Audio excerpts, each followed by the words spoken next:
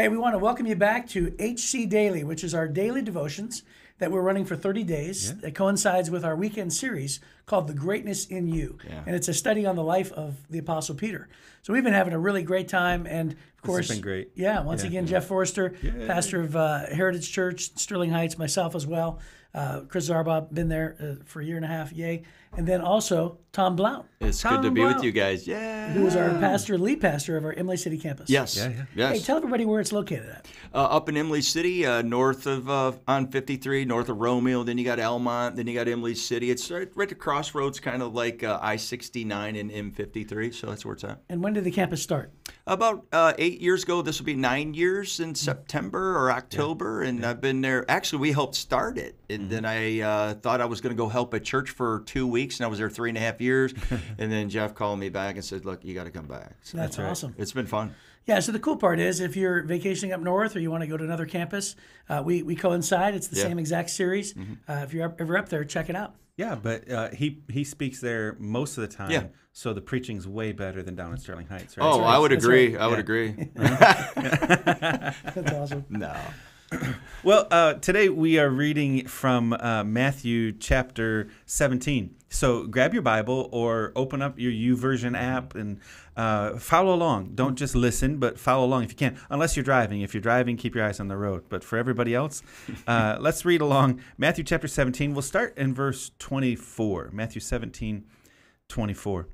So the Bible says, On their arrival in Capernaum, the collectors of the temple tax came to Peter and asked him, Doesn't your teacher pay the temple tax? Yes, he does, Peter replied, and then he went into the house. But before he had a chance to speak, Jesus asked him, What do you think, Peter? Do kings tax their own people or the people they have conquered? And they tax the people they've conquered, Peter replied. Well, then, Jesus said, the citizens are free. However, we don't want to offend them, so go down to the lake and throw in a line. Open the mouth of the first fish you catch, and you'll find a, sil- a large silver coin. Take it and pay the tax for both of us. So you've got uh, here in this passage, Peter and Jesus and the rest of the disciples have come back to Capernaum. Now you remember, uh, Capernaum was kind of the the that was the city that Peter lived in, that his home was at, and uh, so when it talks about Peter going back into the house, that's Peter's house. Yeah. This is uh, kind of Capernaum had become kind of the base of operations for Jesus and his disciples around the Sea of Galilee in the northern part of Israel. Um, so they would leave Capernaum, they'd go out, do ministry for a while, and come back. And uh, there's probably a couple reasons for that. One, there's a big house there, a house big enough for Jesus, the 12 disciples, all of Peter's home. Uh, but also, Peter had a business. So, uh, and we know his business is still going uh, at the end of Jesus' ministry. So he probably had to check in, make sure things were going well. We know he owned multiple boats and things. So uh, there's probably multiple reasons why they're back there. But I do think it's funny. Uh, he comes home, and the first thing that happens is a tax man shows up. Yeah. Hey, glad you're Yeah, back in town. It's time to pay the bills, right? Yeah. So he hits he hits Peter and uh, uh, Jesus up for His their taxes. Yeah. Yeah. Yeah. I think one of the things I, I'd like to try to take away from this with your guys' help, it's interesting. A lot of people, you know, I don't want to pay taxes. You know, there's this kind of this respecting the authority Yeah. thing going on here, I think.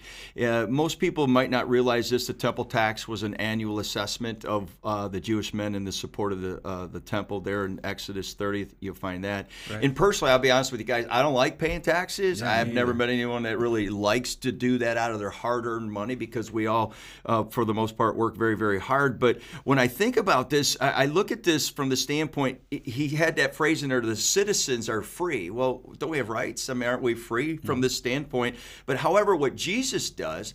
Jesus says, "Well, well, wait a minute. I, I kind of read with imagination. He's like, we don't really want to offend them. Okay, we'll deal with this in a moment." He said, "We don't want to offend them." Now, I, I don't know about you, but what do you think he really means here when he's talking about we don't want to offend them? Yeah, I think it's a good question. Um, one, it's this is what everybody's doing, right? This is it's legitimate that the government, or in this situation, the temple can charge a tax. That's part of the law, and we want to participate as uh, good citizens in the in the community. And so we don't want to try to exempt ourselves from something that everybody else is doing. Yeah, yeah.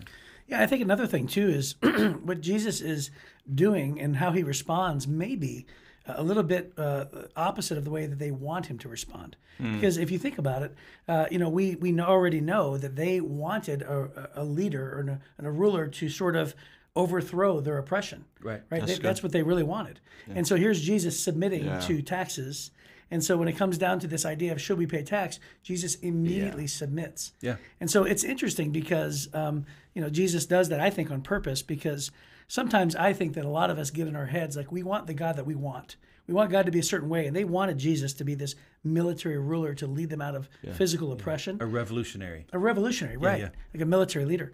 So sometimes I think we want the God we want, not the God who really is. Mm-hmm. But the God we really, you know, the God who really is is the God really that we need. Yeah. Jesus is saying, I didn't come to pick that fight.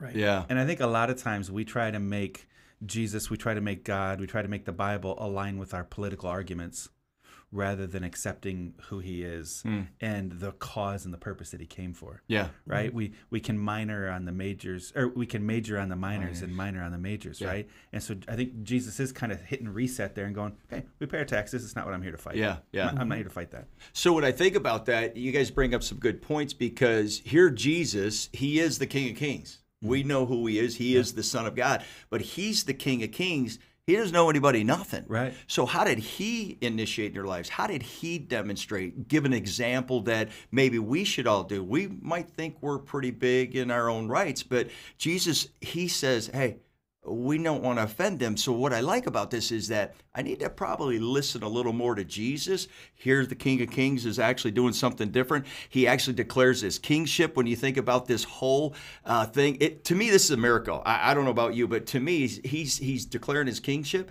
and he's controlling what the coin and the fish. Uh, I don't know if any of you guys could ever do that, but so I, I think we ought to trust him here. If he can do that, I ought to listen to him, trust him. But the last thing I really try to pull away from this is his servanthood. Hmm. He, he, he just humbles himself as a servant. He came to seek and to save that which is lost. And to do that, he was a servant. So he's submitting to the authorities here. And so when I see that, I see that more as a, an obedience thing to Jesus, obeying the command, so to speak. And when I say that, some people go, oh, obey a command, is that we're uh, he's initiating our lives and I'm responding to that initiative. And so when I look at that, why would he do that? Why would he say that? Well, so that we don't offend them. What do you think about Yeah, that? yeah. Yeah. No, I- well, I, think th- I think that I think that it's a great example for us because, you know, to to have Jesus model that for us and say, I mean, think about it. This just is coming off of the Transfiguration, Yeah. where he's on the mountain, he's, and, and his face shines like the sun. Yeah. Uh, this is after they've already declared that Jesus is the Son of God. Uh, so Jesus is, you know, already demonstrated himself to Peter and Mm-hmm. others as who he really is. Yeah. And so and so here by demonstrating this, as you said, being humble, uh, it's just a great model for us. And we- we're like, hey, this is what Jesus clearly has intended to do. Yeah, it's a huge teaching moment for for Peter once again, and and over and over and over, Jesus is refining Peter's worldview um, through the whole th- thing, right? And that's what we keep looking at every almost every day is seeing how Jesus is establishing for Peter. This is really what the kingdom's about. This is what I'm about. This is who I am. This is who you are. He's setting Peter up for the rest of his life's ministry. So in this situation. Um, Jesus sends Peter to go fishing, and first fish you catch, there's going to be a coin. Yeah. Uh, we know that that coin was what would be called a, a four drachma coin. That that would be essentially the equivalent of four days' wages. Okay. Now the temple tax was two days' wage, so th- there's a real hint here as to why Jesus did that. Uh, Jesus owed a tax, and Peter owed a tax, but there were twelve other disciples. This is one of the things that indicates, and, and historically we've always known or believed this, Peter was the oldest of the disciples. And so um, the men had to pay taxes over 30, over the age of 30. So Jesus owed it. He was over 30. Peter owed it. Some people say, uh, some historians would say that they think Jesus was 10, or Peter was 10 years older than Jesus. Okay. So Peter's 40 something, Jesus is 30 something, and none of the rest of the disciples owed any taxes. Okay. So when you look at the rest of the disciples following Jesus, they were young guys. Yeah. Matter of fact, uh, history says that John was the youngest. He probably was a teenager. Wow. So you've got a guy in his 40s. You've got a guy that's a teenager, and you've got all these other young men that weren't old enough to have to pay taxes Yeah, yet. yeah. And um, And so you got Jesus and, and Peter. So looking at Peter's life, I think that's why Jesus chose to use this illustration now Hmm. in his life is hey, you owe taxes. Nobody likes paying taxes. Yeah. Peter, you got to do it. Yeah. He's a businessman. Who knows? You know, it wasn't uncommon back then. A lot of corruption, trying to find ways to get around paying taxes, whatever. And the tax man had to chase you down back then. You didn't just mail it in or fill it out online. Right, right. So um, Jesus sends him to go catch a fish. Well, that was what Peter did for a living, anyways. Yeah. And so Jesus is saying, hey, listen, uh, when you do what I tell you to do, I'll keep providing for you in the normal way that you would be being provided for, the way that you take care of yourself. And in this situation, it wasn't the 99th fish he caught today, it was the first one. Right. So go do what you do. It, so you're serving me, you do what I tell you to do. And then uh, while you're serving me, uh, you know, you're a fisher of men. That's what Jesus called him to be as a fisherman. Then the coin will be in the fish's mouth. When it comes time to good. take care of your bills, I'll provide for you in the very way that you normally would make money, anyways. Yeah. Hey, just as a fun note, um, I went to two, uh, 2009. I went to Israel, and uh, one of the things we did was we had to take this old wooden boat out on the Sea of Galilee, and uh, and so as we're you know passing Capernaum on, on my left hand side, there was a, a restaurant right off of the coast of the Sea of Galilee, and it still sits there today, and it's and it's called St. Peter's Fish Restaurant, and so it's really interesting. So after after our boat ride in the Sea of Galilee, we ended up uh, parking and then going in, and then we got this. Uh, meal and everybody get, you know gets the fish why not right Right. and so anyway here's a picture of, of the the fish. actual plate that they serve you Wow. so they got this big huge fish you know obviously it's the whole fish Is that yours that you had? I, I took that right from uh, Google Images. Yeah. I took that myself. Yeah. So um, so anyway, it, and of course in this case it has fries. I'm Yeah, pretty. I sure. love that. I love that Jesus is eating fries. Yeah. Right? That's, that's fantastic. Not sure. Not sure he ate fries, but Oh. anyway, at this restaurant they, they they brought us all the fish, and then they actually had a coin in the mouth of the fish. Oh, that's cool. So they served it to us with a coin, which was hilarious. That's awesome. And of course, all of us, you know, Yeah. you know, in ministry, we're like, Yeah, yeah. oh, How that's so clever. funny." Yeah. It's very clever, but it was very cool to see. Well, hey Tom, I just want to go ahead and say this. So as as we're looking at this passage, you know, th- those who are listening and you know doing the daily devotional with us for HC Daily, what is the one thing? And if you could put it in one sentence, uh, how can I tune out and just think about this one thing for the rest of the day? What would you say in one sentence? Wow, that's tough. Uh, you know, he says we don't want to offend them. I I think it's okay to grab a principle from here and lay aside our rights, but never lay aside the truth of the Word of God. Oh, right. You, you, sometimes you just you submit, but I, I know you want one sentence, but it's just probably there's times I need to lay aside my rights to reach people, but never lay aside the truth of the Word of God. Yeah, but before we started recording, you, you had actually talked about there was another time where Yeah. Peter comes and goes, "Why did you offend them?" Yeah, Right? Jesus was declaring truth in that moment. He mm-hmm. wasn't being offensive, but the truth was. yeah, that was, in what Matthew offended them. 15. Yeah, Yeah, Matthew 15. So it's just like two chapters before this. Yeah. But then, so Jesus isn't going around trying to be offensive. Right? And so in this one, he's trying to get along. The Bible talks about that as much as possible, live peaceably with all that's men. good. Right? So Jesus didn't have an offensive attitude, but there were times where the truth offended people. was offensive. right? And I think that's that's what you're That's highlighting, big. right? Yeah, that's what you're saying. I think so. Yeah. That's great. That's awesome and very big distinction between the two.